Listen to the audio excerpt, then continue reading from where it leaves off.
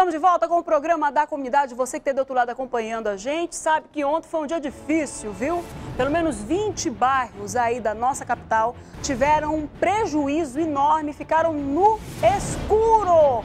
Foi um desligamento no abastecimento de energia que deixou pelo menos 20 localizações aí nas zonas da cidade sem luz. E o problema todo também afetou água e celular, porque as torres de telefonia celular também foram desligadas. É destaque que a gente traz agora para você aqui na tela. Era por volta de uma e meia da tarde quando aconteceu o apagão em quase toda a cidade. Foi o abastecimento de energia elétrica do Linhão Tucuruí Manaus que foi desligado. Por isso, muitos bairros ficaram sem luz. O desligamento também afetou a rede de telefonia móvel. E aí, muitos manauenses ficaram sem comunicação. E foi um caos. Ruas sem semáforo, comércios fechados. O jeito foi ir para a frente de casa, esperar o problema normalizar. A falta de energia foi bem na hora em que pelo menos 40 mil alunos prestavam vestibular. No centro, esta mãe esperava angustiada por notícias da filha. Ninguém ainda não saiu para avisar nada, né? Tá chegando quase o horário, que é quatro horas vai terminar o horário, né? Aí vamos ver como é que vai ficar. Eu quero saber. Estou preocupada. Já na Betânia, Zona Sul, além da falta de luz e de sinal no celular por mais de três horas, os moradores também ficaram sem água. A gente usa bastante celular, a gente precisa do celular para se comunicar. Da televisão também é muito importante. Sem energia, aí fica sem água também. E aí a gente fica assim, né, nessa situação difícil. Na compensa, zona oeste da cidade, foram oito horas de transtornos. Desde as 8 e meia da manhã. É, hoje passou o dia sem luz, voltou por volta de meia hora, são 15 para as 5, voltou, era 4 horas em ponto. E além da luz, também está faltando água. Desde de, é, desde de manhã. Mais de 20 bairros da capital foram afetados pelo desligamento. E eu tenho a impressão, eu ouvi, se eu não me engano, eu ouvi aqui na redação, não foi, Karina? Ouvi aqui que parece que tem bairro que ainda está sem energia lá pelo bando do distrito. Ainda hoje pela manhã já tinha bairros ainda, ainda havia bairros que não tinham, que a energia não tinha retornado. E ontem só teve alguns bairros só teve o retorno completo da energia à noite, lá para meia-noite, mesmo assim ficou caindo e voltando. O fato é que esse, esse apagão que deu na cidade trouxe preju prejuízo, inclusive, para quem estava fazendo prova da UEA, que ontem teve prova da UEA. O reitor da universidade já foi, ontem à noite mesmo, já comunicou a todos que o dia de ontem foi cancelado e que o dia de ontem vai ser, a prova de ontem será realizada no próximo dia 15 de novembro, sendo que só farão as provas os alunos que foram fazer a prova ontem. Os espertinhos aí que não conseguiram chegar, que se atrasaram, que não fizeram check-in lá na hora de fazer a prova, não vão fazer também no dia 15 de novembro. O que, que acontece com o calor? A gente não sabe ainda bem o motivo do linhão de Tucuruí ter desligado, né? Da, da, dessa estação, dessa estação ter desligado. Mas a gente está aqui fazendo um prelúdio de que foi por causa do calor e que por causa disso teve uma sobrecarga lá no Leão de Tucuruí. O fato foi que foi um prejuízo danado.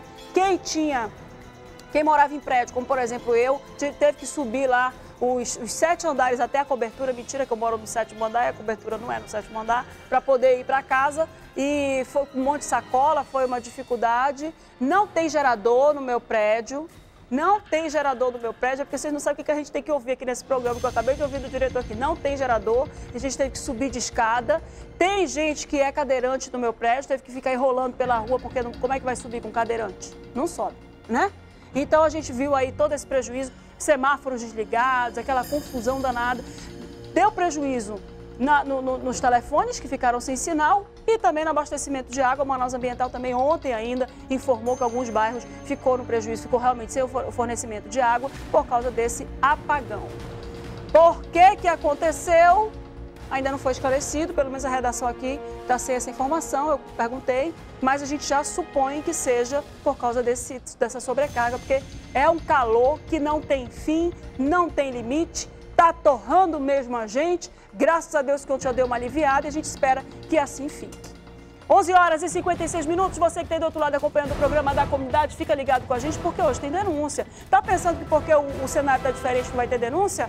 Hum, tem denúncia forte.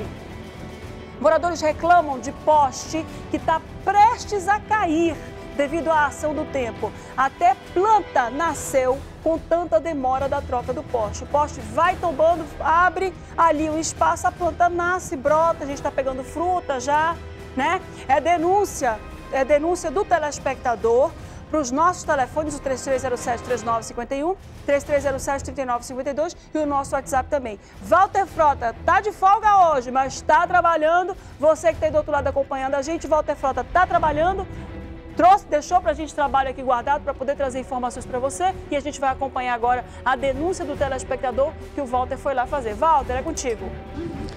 É isso, Márcio. É o seguinte, nós estamos aqui no Armando Mendes, aqui no sítio Bom Jesus, zona leste de Manaus. Essa aqui é a rua Vieira de Brito.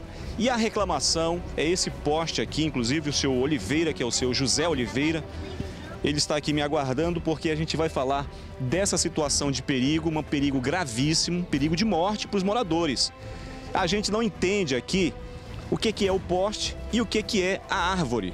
Eu acredito que a explicação para isso é que a árvore, a natureza, se compadeceu dessa situação e resolveu proteger as pessoas. É o que mais dá para a gente entender aqui, viu, gente? É o que mais dá para a gente observar aqui. A árvore abraçou o poste que está velho e prestes a cair. Seu Oliveira, essa situação não é só nesse poste, tem um outro também que está com essa situação, né? É, tem outro poste aqui embaixo está a mesma situação. Aquele está mais perigoso do que esse. Pelo menos esse aqui está sustentado pela árvore. Aqui dali, se tiver uns 20 centímetros enterrado no chão, tem muito. E há quanto tempo está assim, seu Oliveira? Rapaz, isso aí, desde quando eles botaram isso aí, que está nessa situação. A chuva, chega o inverno, a chuva vai cavando, cavando, como vocês veem que aqui é uma descida, né? Vai cavando, vai cavando e o poste está ficando nessa situação aí. Ainda só não caiu esse poste por causa desse fio que está segurando. Essa não, parte de baixo, o senhor acha que quantas famílias moram aí embaixo? Eu acho que eu moro umas umas 10 famílias ou mais. Né? Todas dependem da, da parte elétrica que passam aqui? É, desse, dessa, dessa rede que passa aqui. E o senhor teme aqui, tanto pela sua família, quanto dos moradores que vivem aqui, os vizinhos? Todo mundo, é, principalmente esse pessoal que mora aqui do lado, né? É aqui que é o mais perigoso. Né? Esse porta numa situação, se, quando o baixa no toco dele que vai voar, o bicho balança todo. E o senhor já entrou em contato com a concessionária, sabia por que, que não fizeram ainda a troca desse poste? A gente já entrou em contato com eles, fico de vir para mandar uma pessoa para vir olhar, mas nunca resolve. nunca resolve o problema. O problema continua do mesmo jeito. Eu acho que eles só vão vir é, ver esse problema quando dia que acontecer alguma tragédia aí com a gente. Pois é.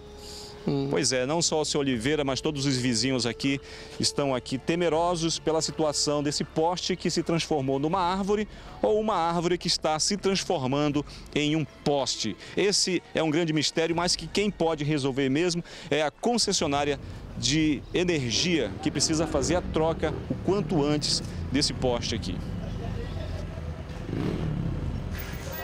Olha, olha só, gente, sabe o que, que me traz aqui surpresa?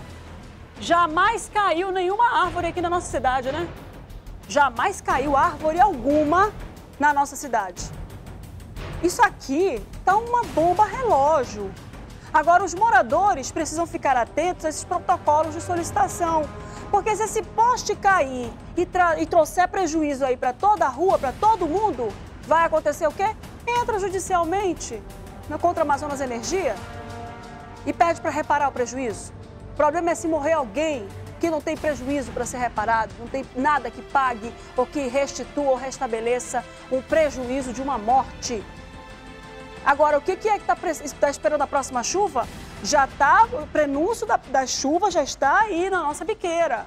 Desde ontem que o clima já está mais ameno, está chuviscando rapidinho, está chovendo forte em algumas zonas da cidade e a gente sabe que com chuva vem vento e com vento vem desgraça. Vai esperar cair esse poste na casa de alguém? Vai esperar levar essa fiação todinha para cima de uma pessoa e matar alguém eletrocutado? Quero só saber se é isso que vai acontecer. E sabe o que é pior? Sabe o que é pior? Não foi só esse poste não que o Walter Frota vai trazer para trouxe para a gente aqui de denúncia não. Nesse mesmo dia que ele fez essa reportagem, ele foi lá para o São José, que foi numa sexta-feira, foi sexta-feira agora? Na sexta-feira agora passada que ele foi fazer essa, essa denúncia aqui, ele foi lá no Armando Mendes, né? Ele foi lá no São José e encontrou outro poste.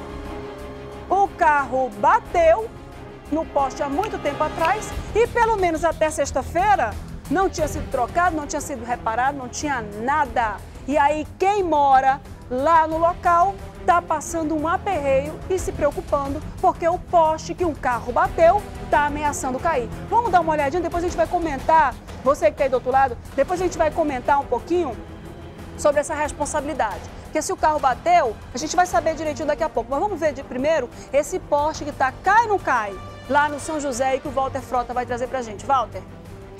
É isso, Márcia, para mais uma denúncia da comunidade. Dessa vez, a situação aqui é um perigo de morte, perigo que pode prejudicar muitas famílias. Sabe por quê? Porque aqui na frente da casa da dona Ana Maria, um carro bateu aqui no poste que fica bem encostado aqui no muro. E olha só como é que está esse poste aqui, a situação dele, o perigo que corre não só ela que mora com o esposo aqui na casa, mas as pessoas que transitam aqui na rua. Perigo desse poste cair a qualquer momento.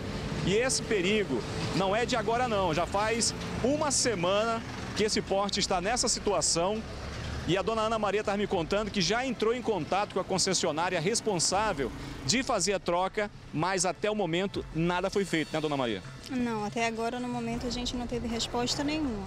Eu já entrei em contato diversas vezes, já fomos lá na, é, no PAC procurar a responsável e até agora eles não, não, não, resolveram, não entraram em contato com a gente, mandaram só simplesmente a gente aguardar. E a gente está aguardando até agora, né? Essa localidade aqui fica aqui no São José 2, zona leste de Manaus. Para vir passar por aqui, para chegar até aqui, precisa vir pela Grande Circular, entra pela Rua Marginal, aqui desce pela Rua 28 e aqui segue pela Rua 11. Ou seja, todas as famílias que moram nesse sentido aqui da rua podem ficar prejudicados com a queda desse poste que a qualquer momento pode cair. Ele já está quebrado e a gente fica esperando uma resposta da concessionária que possa dar uma resposta não só para a dona Ana Maria, para o esposo dela, para os moradores daqui do São José 2, quando é que eles vão vir fazer a troca desse poste? Porque do jeito que está aí, só segurar, está sendo seguro aqui pelo seu muro, ele vai cair a qualquer momento. A qualquer momento ele pode cair. E outra, eu tenho que, tenho que ficar entrando aqui e eu não posso porque a porta está em tempo de cair. Vai se cair na minha cabeça, ou se cair, as crianças passam aqui para ir para a escola. Essa situação tem que ser resolvida o quanto antes, porque assim, do jeito que está, não dá para ficar. Então tá aí, ó. Eu trago você aqui para dar uma olhada bem de pertinho e ver que a pancada do carro, né, que a força do carro foi tão forte que afastou o poste aqui acho que em cerca de uns 50 centímetros, né? Quebrou nessa parte do meio. Tá todo pendurado aqui. O que está segurando o poste aqui mesmo é esse muro, ó. Esse muro aqui é que está segurando. E talvez não tenha tanta força de segurar por mais tempo.